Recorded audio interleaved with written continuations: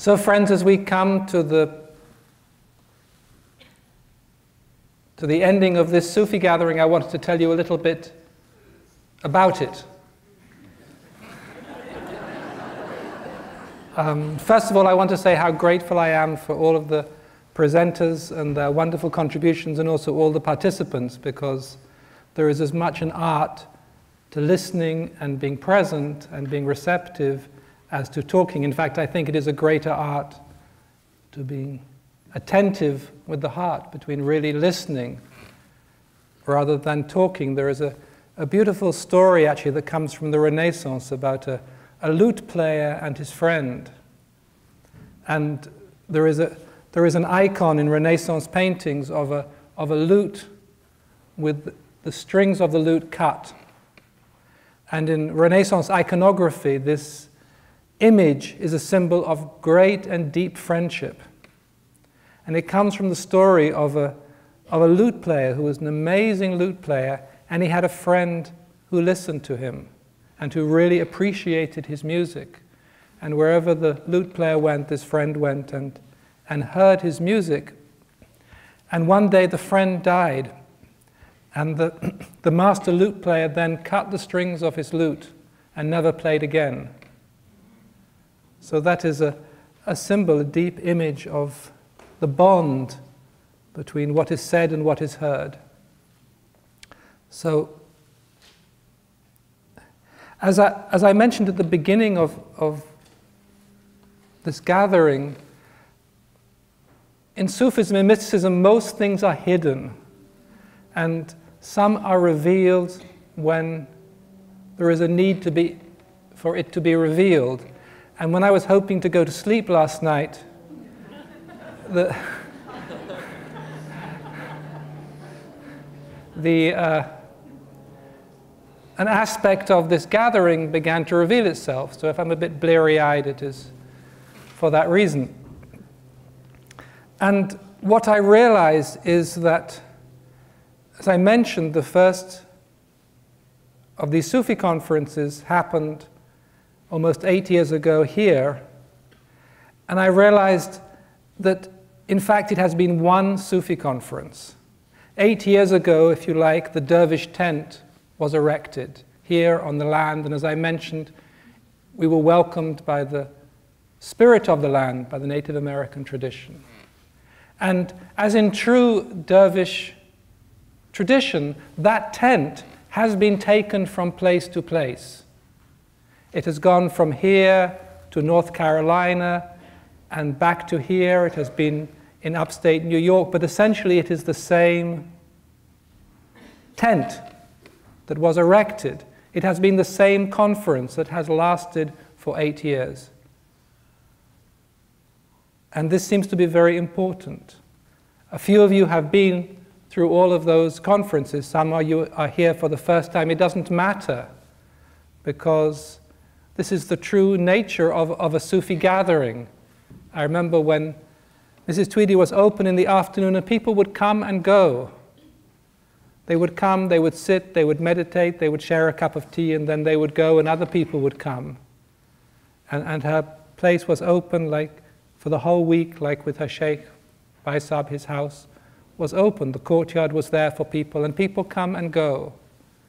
And time and space are not a limitation. So, this has been an eight year Sufi gathering that is now coming to an end.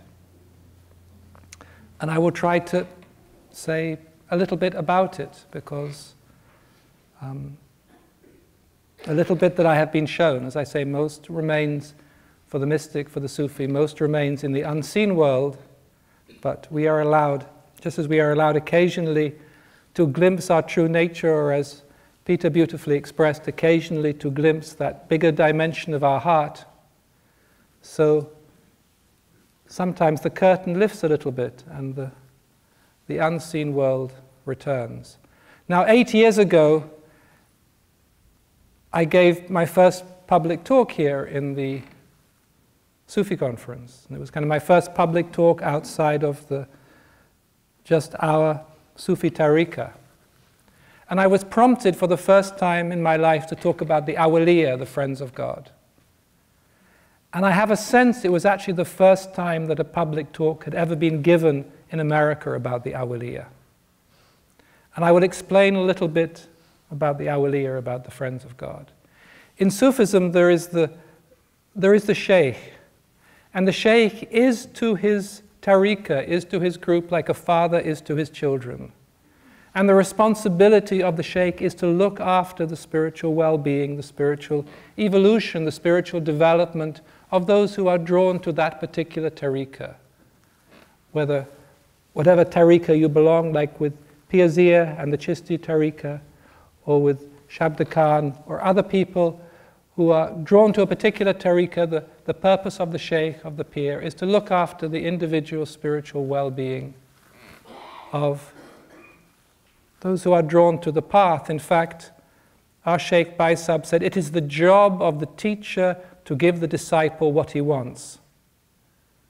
It is a kind of awe inspiring statement, that, if you think. It is the job of the teacher to give the disciple what he wants.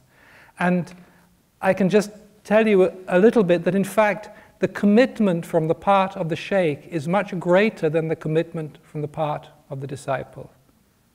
When you come to the path, of course, all you realize is your own desire and maybe the commitment or the level of commitment you are prepared to make.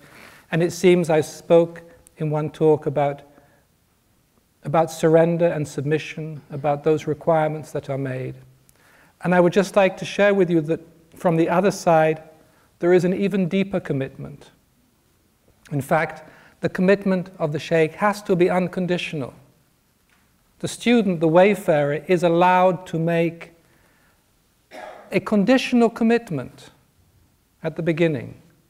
I come to the group as long as it doesn't hurt too much, as long as I don't lose my friends, as long as my husband or my wife isn't too upset, as long as I keep my job. Later, as you See, from Peter's talk, you tend to lose your car, your health, your job, but that's another story. but there is, or there has to be, from the point of view of the Sheikh, an unconditional commitment to the spiritual welfare of the disciple. In a way, the, the, the disciple is allowed to run away the sheikh is not allowed to run away. The only time the sheikh is allowed to say no is when the disciple does something that is unethical, that goes against the ethics of the tradition. Otherwise, the sheikh is duty bound to give those who come what they need to evolve spiritually. In fact, I was sharing with Pir Zia at, at lunch that it is an incredible responsibility to be given the grace to pass on because one is bound to the grace. One is free, but one is bound. And this is the normal understanding of the Sufi Sheikh, of the pir, that he is there to help the, the spiritual unfolding of the disciple.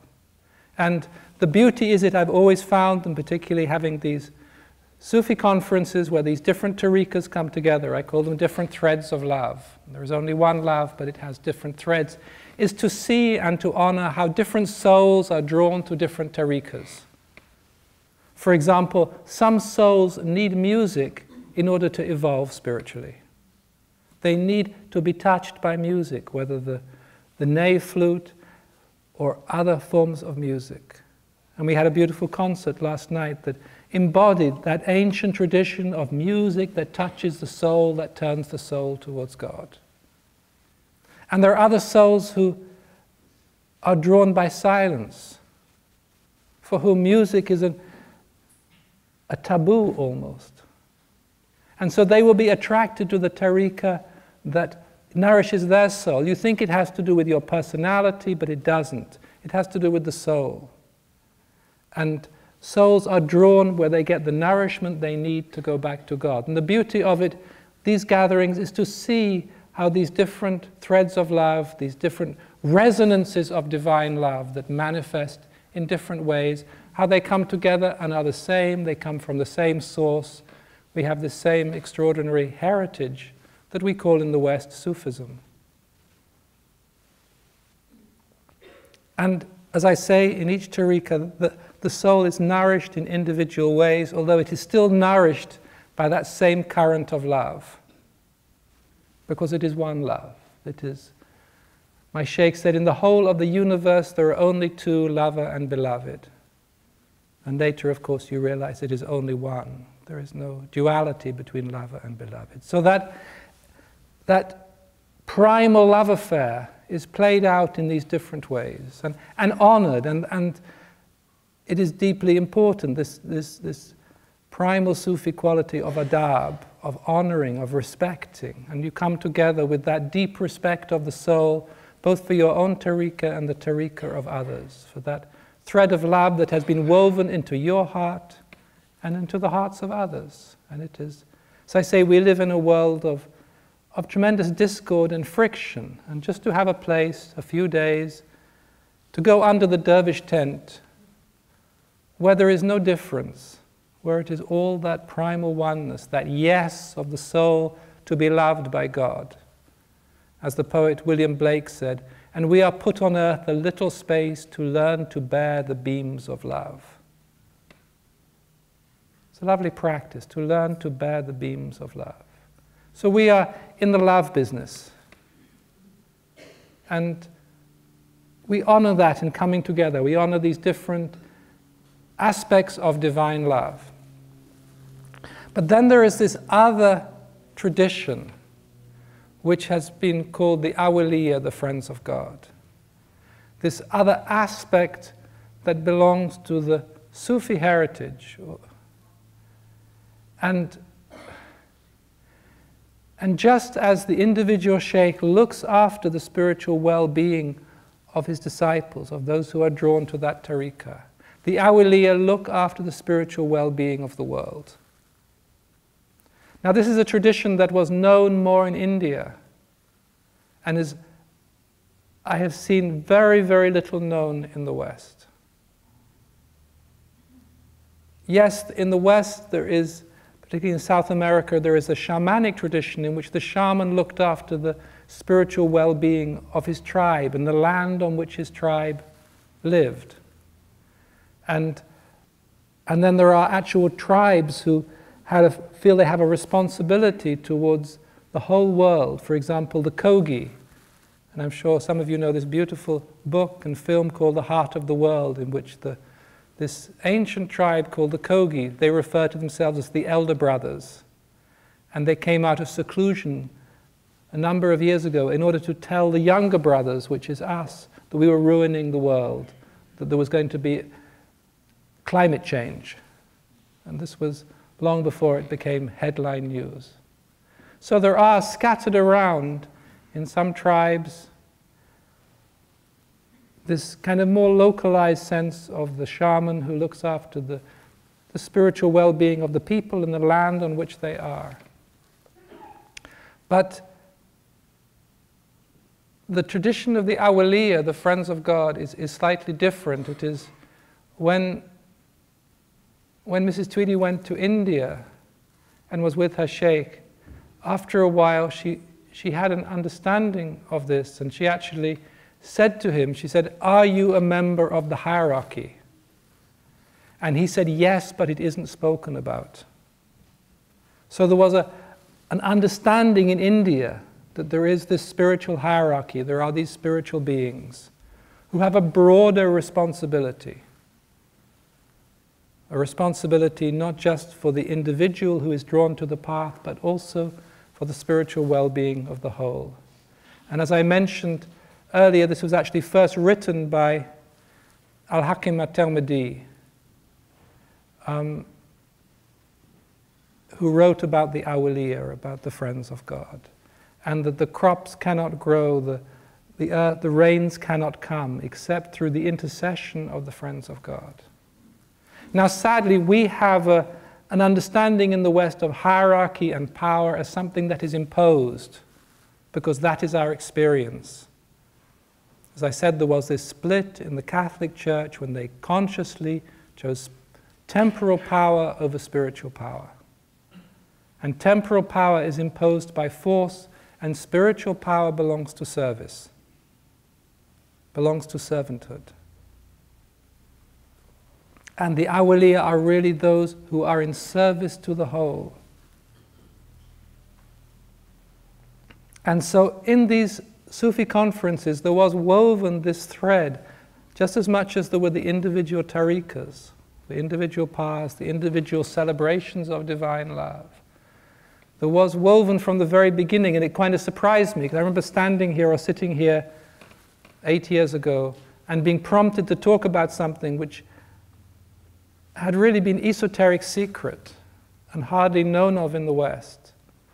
The, the, the idea of the kutub, the pole, has been known about in the West through Sufi literature. But the image is actually that the pole is the center pole of the tent, and the pegs of the tent that hold the tent into the ground, that hold this dervish tent into the ground, that hold this place of divine protection into the ground, they are with the awliya, the tent pegs. The pole, as I said, is the one human being who lives what it really means to be a human being. That's his purpose. The tent pegs that hold this place, this arena of transformation, of protection, of love, they are often known as the awliya. And so I realized from the beginning that this Sufi gathering, the Sufi conference that they began really in Sufi books almost 10 years ago, had a, another purpose. And yes, there was the there was a simple purpose of making conscious, of bringing into if you like, American collective spirituality, this idea of the masters of love, of these spiritual beings who look after the well being of the world. You could say they're not doing a very good job when you look at the world around us, but I can tell you they are doing the best they can in very difficult circumstances. And so, actually, to bring into consciousness, to say we are in the presence or we are connected, or we have access to this dimension of spirituality that has been there, they say, since the very beginning. Actually, in, in Judaism, they have a similar concept. It's called the just men. There, there are 36 just men in, in, in, the, in the Judaic esoteric tradition. And when one just man dies, another replaces him. In Sufism, it's often thought there are 40 awliya uh, scattered around the world in different places. So it is, it is like honoring, accepting, bringing into consciousness this bigger dimension of spirituality that takes us out of our own individual self and says we are actually part of something greater and we can participate in something greater. And as somebody asked me in the, in the questions, the, there have been times when, when the, when the awliya were, were hidden and times they became more known. And the most recent time is in the 12th, 13th, 14th century in the Middle East when they were known as the Khwajagan, the Masters of Wisdom. And there is a, a beautiful book that some people got copies of here called Beads of Dew from the Source of Life, that only in the last few years has been translated into English, that is the this text of the Khwajagan, of these great masters. And then they became hidden. They went into the inner world. And for example, the my sheikh's sheikh's sheikh was a great, great master, but he was just a village schoolmaster. Nobody knew he was a great spiritual master. He had two disciples. And he was a village schoolmaster and he did some odd jobs around the village. And he was a great, great spiritual master. And so that is an example of when it was hidden. And even my sheikh in India, and we call Bhai Sahib elder brother, Mrs. Tweedie said the greengrocer at the bottom of the street didn't even know he was a great spiritual master. And when she said to him, he sent her back to the West to lecture, and, and he said, she said, Why should I lecture? You never had to lecture. you know, he said, I, I do not come down. Because to make a public talk, you come down. You come down to make something accessible. And he said, I never come down. That was not his work. His work was primarily on the inner planes. And then she was asked to go to the West and to lecture. And then she sent me to America to lecture and to bring something out into the public, to bring. And part of it, as I say, is to, through this gathering, is to, to bring into consciousness this ancient heritage. And say the purpose of the Awliya, or part of the work of the Awliya, I won't say purpose because again, most of their work is hidden, has to do with the spiritual evolution of the whole. Just as the individual sheikh works with the spiritual evolution of the individual, so the Awliya work with the spiritual evolution of the whole. Because there is this tradition that we are a microcosm of the whole, and the earth itself is a spiritual being that is looked after, that is nourished spiritually, just as much as we are looked after and nourished spiritually. And, and the beauty of it individually is when you step on the path, if you knew how you were looked after, if you knew how you were nourished, most of it is veiled because the ego would otherwise get hold of it because the mind would identify with it. But you are given so much. You are looked after so much. My sheikh used to say when somebody came to him, they were tied up in a parcel and sent back to God. And they, we are held, we are held with such infinite love and infinite care. I was once told in a dream he has a special tenderness for his own personal idiots. because you give yourself to love, and maybe the mind doesn't work. Maybe you're not as successful in your profession as you might otherwise have been. So there is this dimension to these Sufi gatherings that belongs to the whole. And, and when I say Sufi gatherings, I should remind you this has just been one Sufi gathering for eight years, and it began and it is concluding today because a certain work has been done. And I should explore a little bit of what that work is. Again, most of it is hidden, most of it is in the unseen world. Now, central to Sufism are the op opposites of forgetfulness and remembrance. They are, if you like, the two polar opposites of the Sufi path.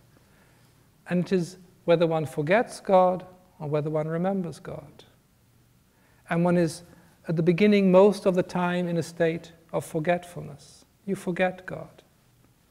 And then slowly, through the practices, through the grace of the tradition, you are drawn into a state of remembrance. It's not the remembrance of the mind, of course, because as many of you who have been on the path for a certain length of time, the mind starts to become geriatric a little bit too quickly. Spiritual amnesia, too much meditation. It is the remembrance of the heart. It is the heart that starts to remember God. In fact, there is a, a saying that one should pray continually, one should pray constantly.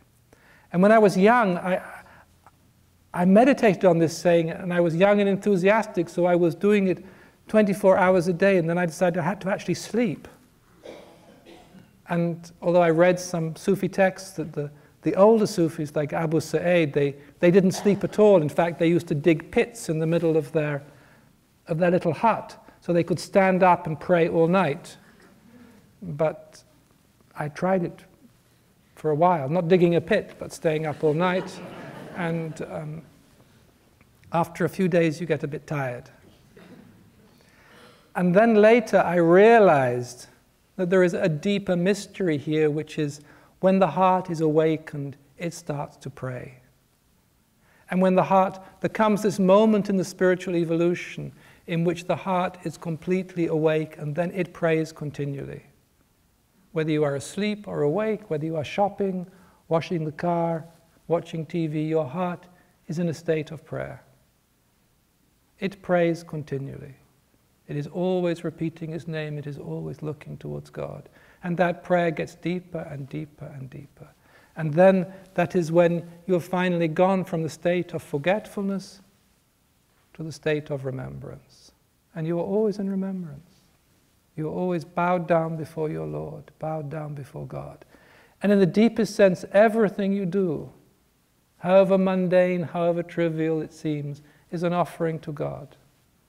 Because that is your then your purpose, as it is said when the not yet when God said to the not yet created humanity, Am I not your Lord? And they said, Yes, we witness it. And you are in a continual state of witnessing, the witnessing of the heart.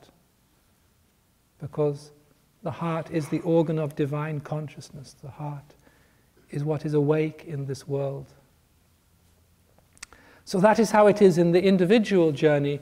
Now, as I said, the Awliya go beyond the individual journey in which the individual journey is part of a bigger whole.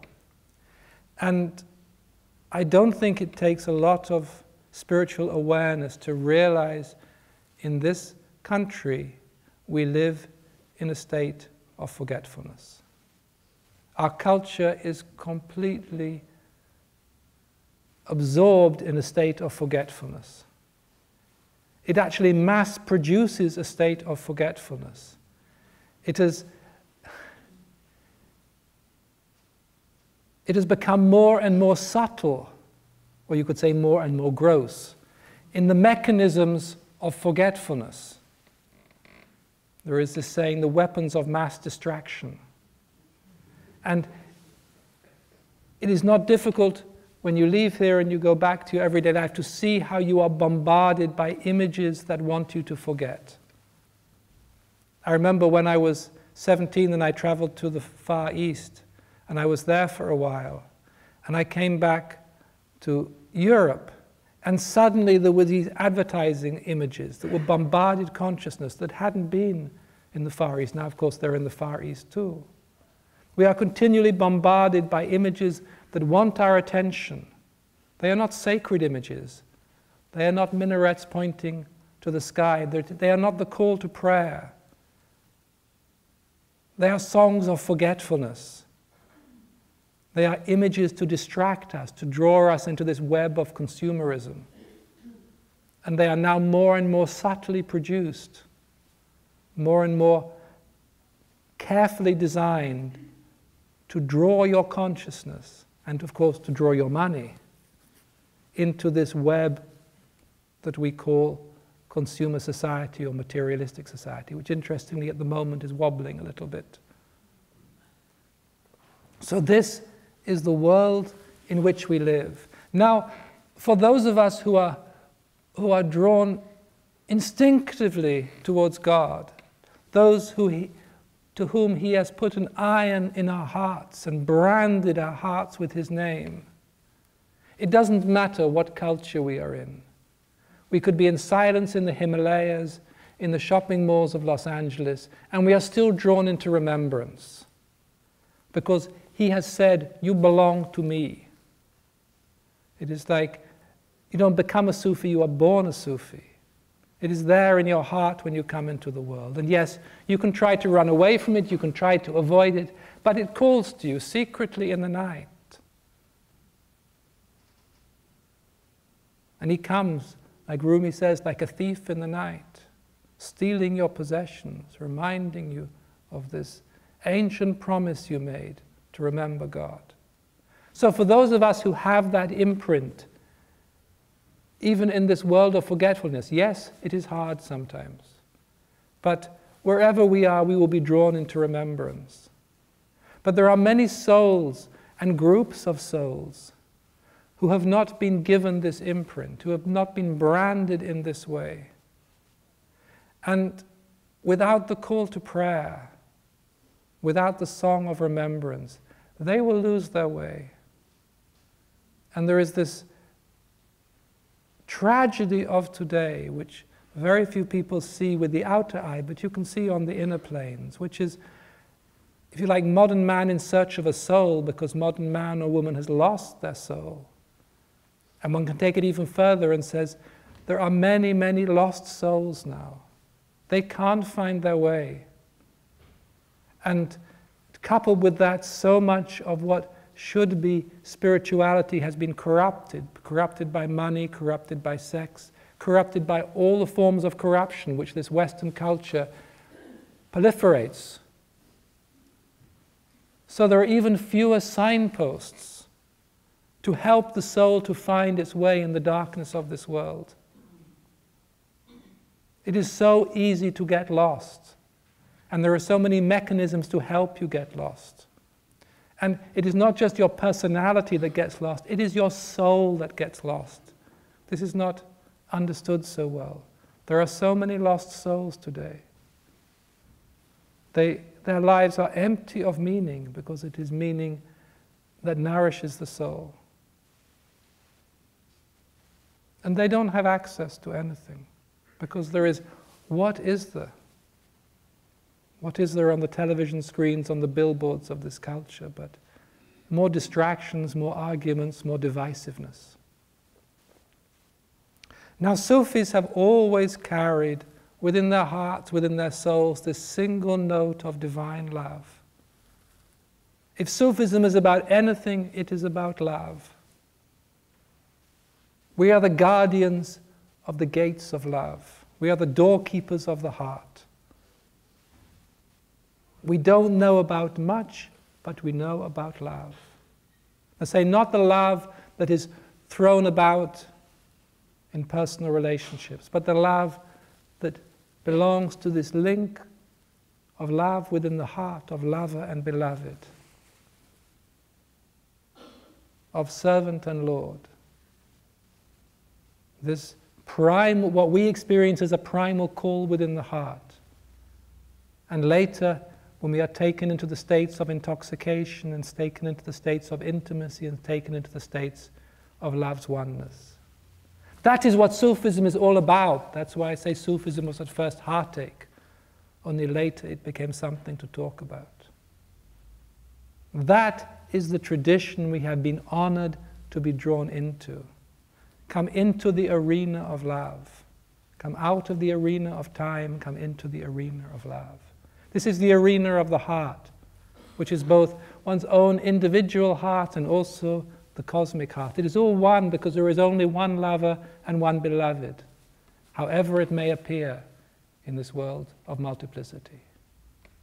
And in this calling of love, there is the note of love. And it is that that draws us within ourselves. And in fact, part of the, the work of the Sheikh is to keep that note of love alive, to resonate that within the heart of the wayfarer, within the heart of the disciple. And then it is like attraction, like magnetic attraction. The, the imprint of love within you is, is awoken by the note of love, is drawn like the moth to the flame through this note of love.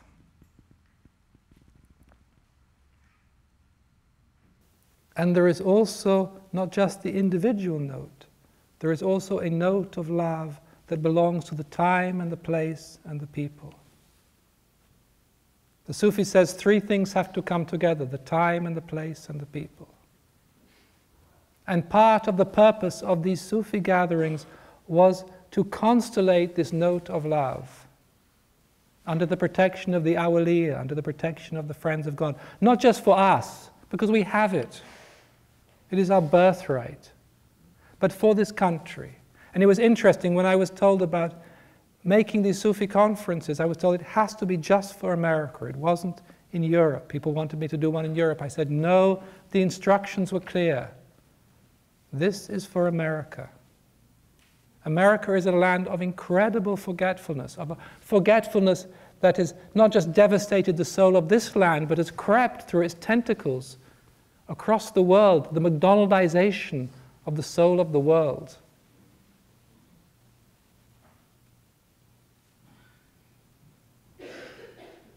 And it is a place of forgetfulness, and we are a center of remembrance.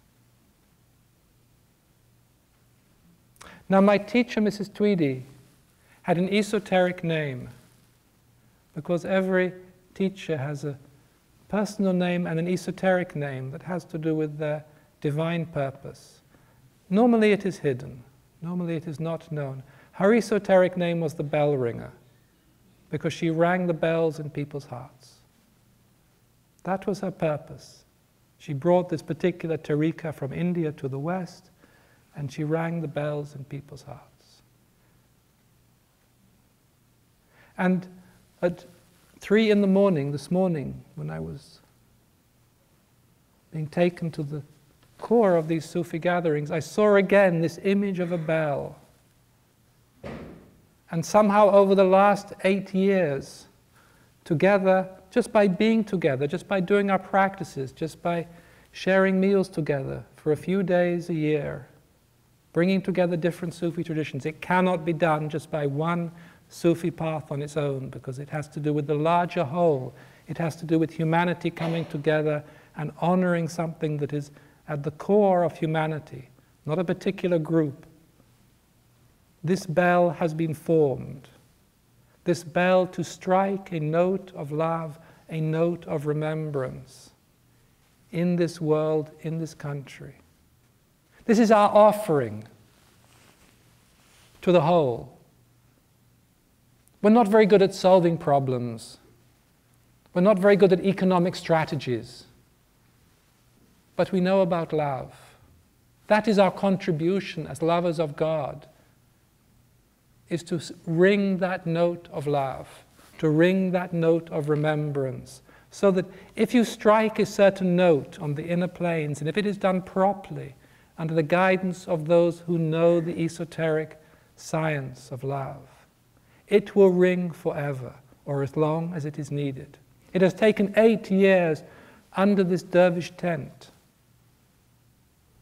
with the help of all those who have come and all those who have made presentations and all the spirits on the inner planes that have also been present to fashion this bell. And in this gathering, there was a very different quality. I was struck because normally in these Sufi conferences, and those of you who have been to some before, we spend the first two days creating an atmosphere, almost rebuilding this tent. And when I first stepped onto the stage with Pir Zia, it was already here. I didn't have to create anything. Suddenly the grace was there. All the preparation had been done, that had been done silently over eight years, had come to fruition. And there was a sweetness for me, this whole weekend has had a sweetness, an effortless sweetness that belongs to love.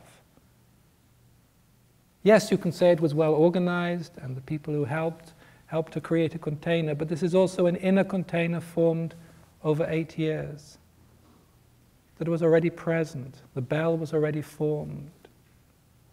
And this weekend it has been struck. Not for us, because we know that song. We have been drawn to this note of love, maybe from lifetime to lifetime. It's nothing new to us. You wouldn't be here if you hadn't already been drawn from forgetfulness back into remembrance. It wouldn't resonate within you. But it is now ringing for this country. It is our contribution. A small contribution at a time of global crisis or global transformation. A small contribution to these waves of forgetfulness. But because it is done under the protection and guidance of the awliya, of those who know what they are doing. They have been looking after the spiritual well being of this planet for hundreds and hundreds of years. Sometimes visible, sometimes hidden. This thread of divine love. They know how to weave it into the hearts of individuals and into the hearts of countries. And this is both our contribution and our responsibility. You don't have to do anything. I just wanted to share with you why you came. Because just like when you come to the path, at the beginning you don't know why you come to the path. But there is this deeper purpose of these gatherings that, as I say, until two or three this morning, I didn't see with such clarity. I felt there was a possibility for something to come alive at this meeting. And that's all I knew until this morning. So I am incredibly grateful to be able to share that with you, to be able to be present with you at this moment as these eight years of Sufi work have been fulfilled, have come to completion, and that this note of love, which is silently ringing in this room now, it will remain. Nobody can interfere with it because it is under the protection of the grace of God. If certain instructions are given by those who belong to God, not belong to this world, by those who belong to God, then nobody is allowed to interfere with it. It belongs to the will of God, not to the comings and goings of humanity. And it is struck here, but it belongs to the whole of America. It belongs to the heart of America. It belongs to the soul of America. It belongs to the crisis of America. It belongs to the possibility for America to actually step up to its spiritual potential, to its spiritual responsibility. Not in some sectarian notion, not in I have a better God than your God, but in a deep knowing, a deep resonance, a deep respect for everybody in their uniqueness, in their individuality, because as lovers of God, we know that everything, every human being, expresses the beloved in a unique way. This is the beauty of multiplicity and unity. Through the multiplicity, through the uniqueness, through the difference of color and creed and race and belief, he expresses his uniqueness. Because we know there is nothing other than God, even if we live in a culture that has forgotten there is nothing other than God even if we live in a culture that celebrates individuality and the ego at expense of everybody else. And we are striking a different note, just when it is needed. And it will resonate for as long as it is needed. So I just wanted to share that with you, just to be present at this moment. And God bless.